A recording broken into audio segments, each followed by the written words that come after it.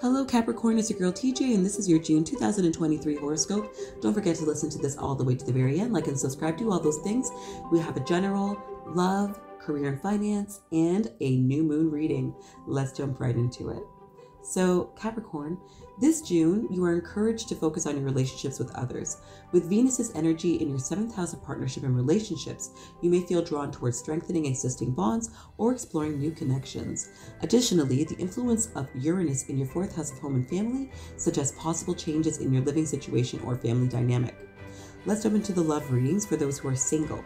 June is an opportune time to put yourself out there and seek new romantic connections. With the new moon in your house of partnerships on June 18th, you may attract loving and supportive relationships that enrich your life. Remember to prioritize open communication and be honest about your desires. For those of you who are in a partnership, June provides you a period to deepen your connection with your partner. Uh, Jupiter's influence in your fifth house of romance may experience may have you experiencing heightened passion and romance in your relationship.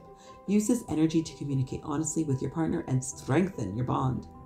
In regards to money and career, June is a month of growth and transformation.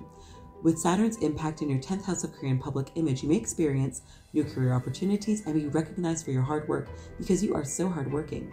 Additionally, with Uranus's influence in your 4th house of home and innovative ideas in relation to your living situation, this may prove very fruitful.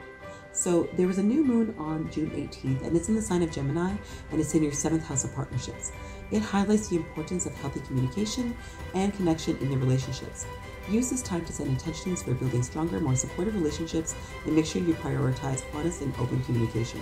I hope you find this horoscope helpful, useful, and insightful. Best of luck to you, lovely Capricorns. Don't forget to like and subscribe. Toodaloo!